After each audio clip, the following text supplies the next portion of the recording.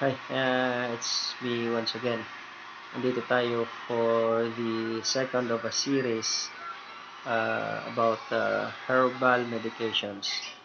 Uh, sa previous uh, uh, series na i-mention natin yung uh, effects and benefits na maibibigay ng uh, uh, herbal sa uh, atin sa particularly yung oregano was uh, discussed there in which uh, actually it's going to be the oregano na kakailanganin natin sa pag-aalaga ng baboy and in which uh, discussed there the effective si oregano as uh, preventions or even killing uh, virus and viral infections as well.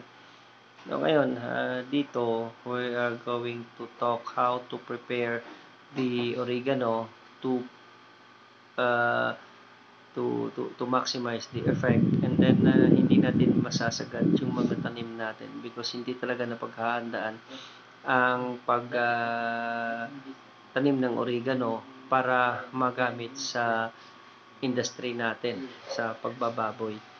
Now, ngayon, uh, uh, we're going to talk about fermentations, the proper fermentations.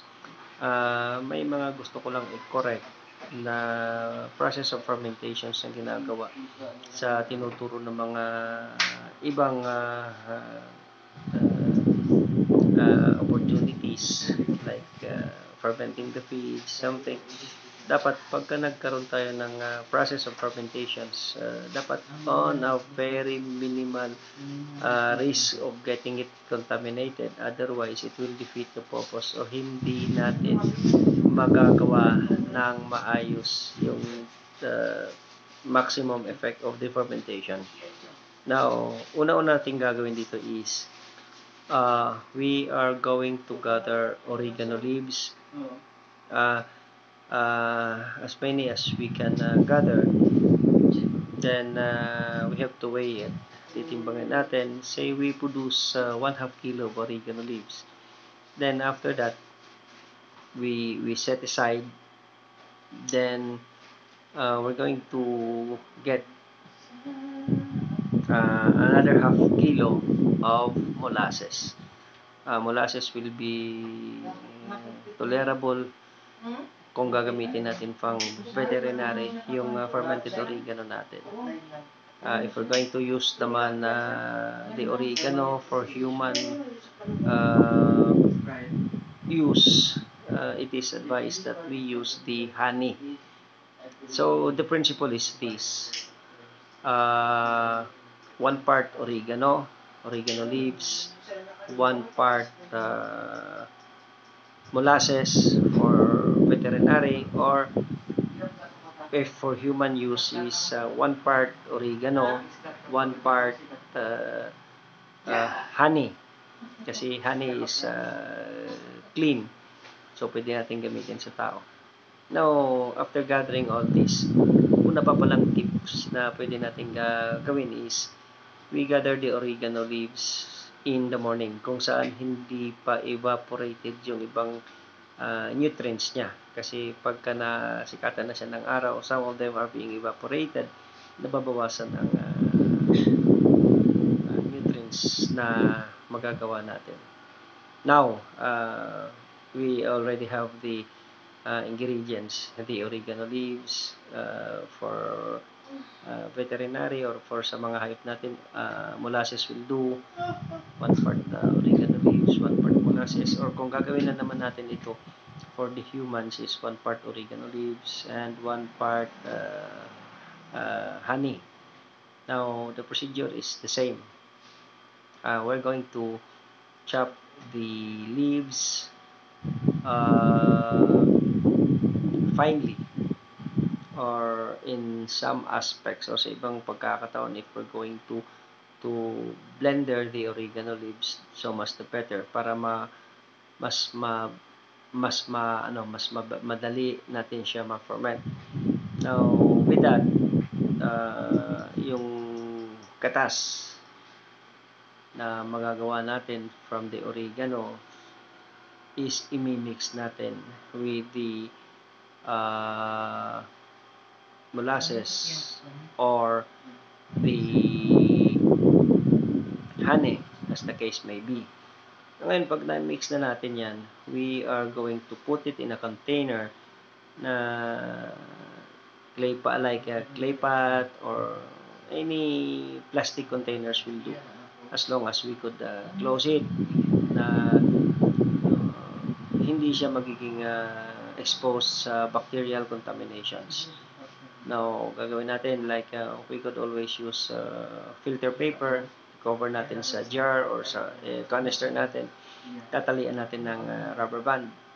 Pag natalian natin, we're going to set it aside, uh, keep it away from sunlight, lagyan natin sa mas madilim, mas maganda, and then let it stay for uh, minimum of 15 days, maximum of 30 days. Uh, 30 days is best. Na ngayon, pagka na-set aside na natin, after the 30 days, balikan na natin yung uh, ginawa natin fermentations. So, the fermented oregano is already ready.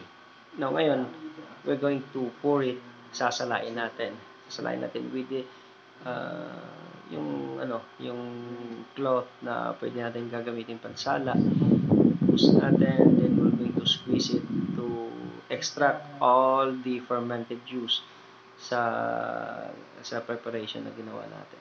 Once uh, they're already uh, uh, extracted. Once extracted na natin yung, fermented oregano natin, it will be uh, ready for use. Uh, ready for use in a sense na we could always uh, use it uh, say 2 teaspoon of the fermented oregano ilagay natin sa 1 liter of water.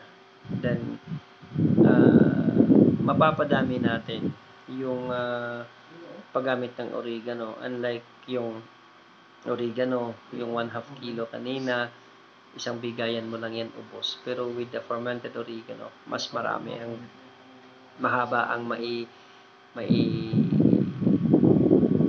marami tayong magagamit paggagamitan with the preparation so 2 tablespoon of the oregano mix natin sa 2 liters of water. Then i-serve natin uh, sa mga alaga natin, sa manok, sa baboy, and if we use the honey as uh, the alternate for molasses, pwede natin gamitin sa tao.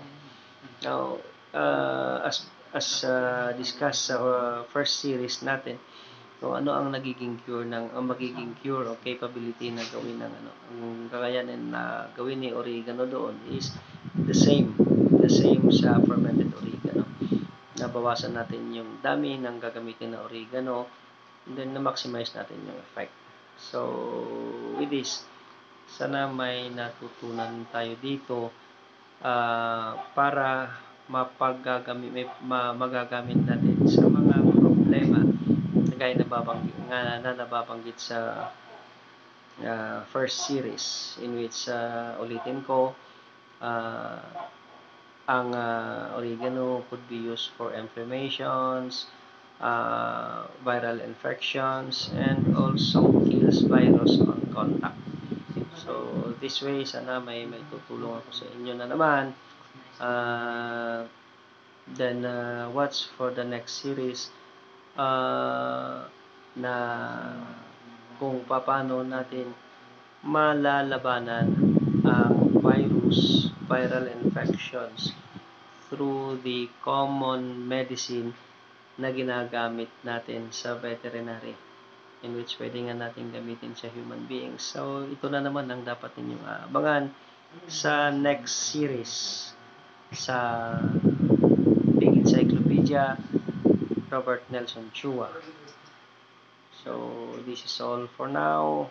Uh, have a today and uh, God bless.